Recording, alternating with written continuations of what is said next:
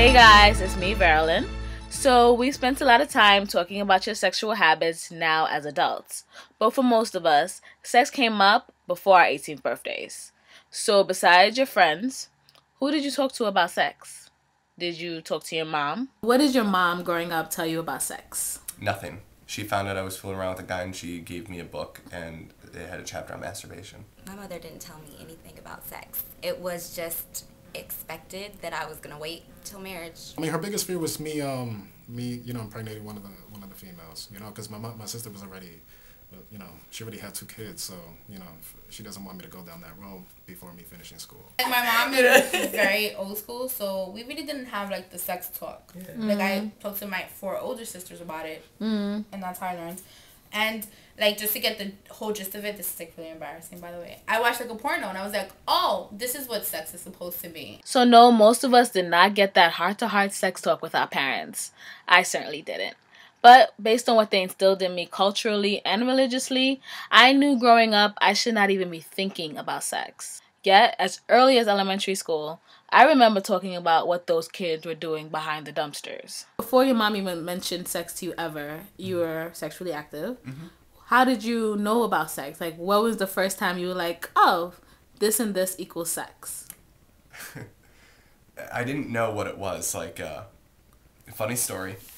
I the I was a kid and the guy was giving me head. Okay. He was a kid too. He was okay, my age. okay, yeah, he was my age. Um, I grew up with him. He lived around the block. I still talk to him. Um, he's straight now, has a girlfriend, all that jazz. But anyway, he was. We called an orgasm that feeling, and we would actually get there, and we would stare at each other's uh, penises because we couldn't figure out if it was spit or something was coming out. I didn't know what an orgasm was until I was fifteen or sixteen, but I was getting them as young as eleven, and I'm just like, we just didn't know what it was. S- sex, the way you and I know it, just didn't occur to me. It was. Mm-hmm it was this feels good. This is fun.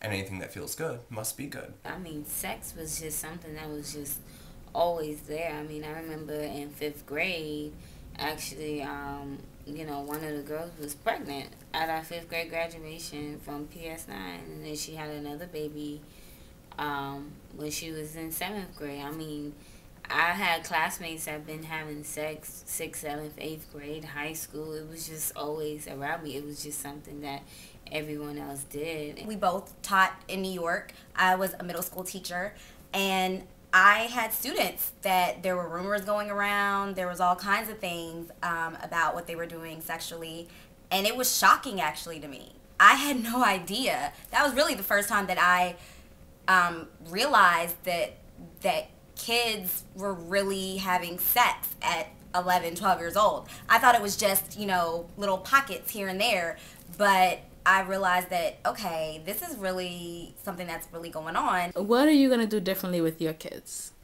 when it comes to sex ed or teaching them about sex? Uh, I, I will let them know that I love them and I'm going to give them my best judgment, you know, and I'm just something going to follow by my principles, you know what I mean? I think if we frame all these uh, sticky subjects in terms of intelligent decisions instead of saying it's just wrong, not giving them an explanation.